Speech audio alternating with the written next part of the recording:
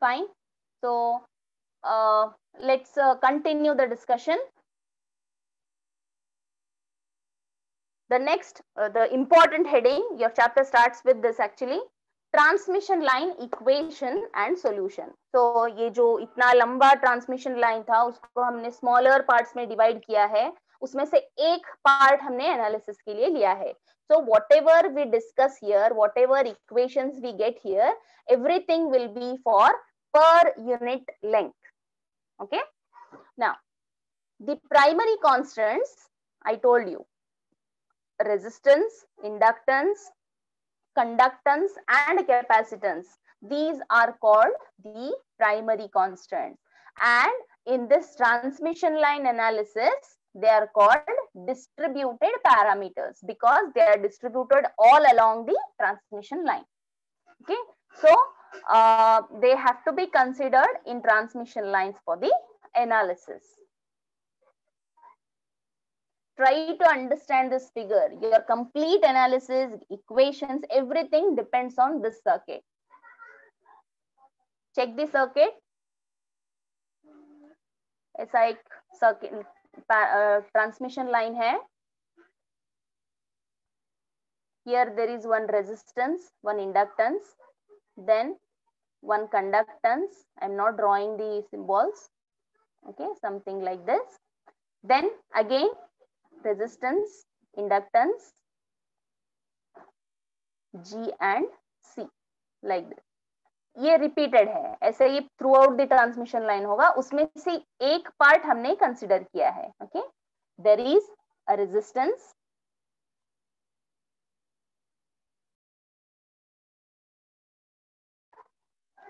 then there is inductance there is conductance and there is capacitance and uh, you know per unit length hai so what is the length considered total length जो है आपका transmission line का total length this complete red line it is Z I am considering Z in the considering the space okay you have this uh, what uh, y x y z okay anything you can take i am taking z in some of the textbooks you, uh, they have taken x you can take any of the variable no problem here it is taken as z so if I take the complete length of the line as z, a smaller part, one part is taken as delta z.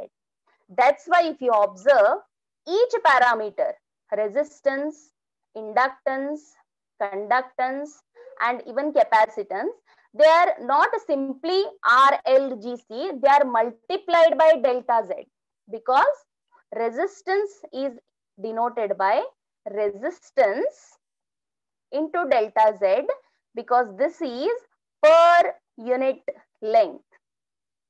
Resistance per unit length. That's why it is resistance into delta z. Okay r dash. R dash is this much. Resistance per unit length. Or let me just show you one more. Huh. now it is correct. Resistance per unit length is equal to R. That's why it is R into delta Z. So every parameter is multiplied by delta Z. Okay. Per unit length, delta Z, delta Z cancel. Okay. Again, you will get RLGC. Fine. Now, uh, any other thing? Uh, you can observe, uh, I hope it is visible, these numbers one, two, three, four, they are marked with red pen. Uh, I hope it is, uh, you can differentiate. And uh, these numbers, one, two, three, four, they are marked with blue pen. I have differentiated this red with red and blue just to indicate KVL and KCL application. okay ये आपके लिए easy होगा when we write the equations for KVL and KCL which points to consider just to facilitate you. I have written this numbers okay? But otherwise numbers are not necessary. Just for your understanding it is there. A small length of the line can be represented by an equivalent symmetrical T network. That's what I have explained you. This is a symmetrical T network, okay, with the primary constants RL, GC per unit length.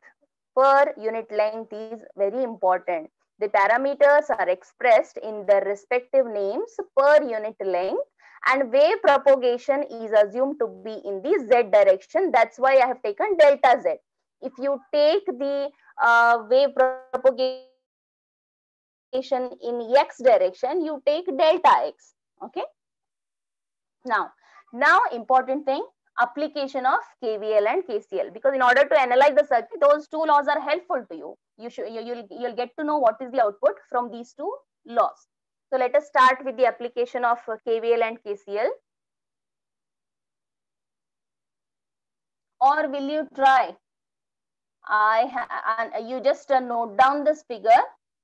You try to apply KVL and put it in the group. Let's see. Uh, even for your facilitation, let me just uh, show you. Let let me tell you. Red pen indicates application of KVL. These four things to be considered for KVL. What are those? This voltage. You can see V is not simply V. It is V of Z into T. Uh, sorry, Z comma T. It indicates voltage is a, you know, it is dependent on Z and T. Two variables do exist here. It depends on Z, the direction and the time voltage depends on these two parameters. That's why simply V is not written. Instead of that, V of Z comma T is written. So this is the applied voltage. Then you have here number two. So whatever voltage comes across this has to be taken into consideration. Third, inductor. And the fourth, don't consider this because you know that for parallel, voltage remains same. That's why you take this so same thing will be applicable for both these parallel values G and C. So consider 4 as the fourth point. So red pen 1, 2, 3, 4. For these four points, try to take the and apply the KVL and try to even if you if you can do it for blue pen, try to apply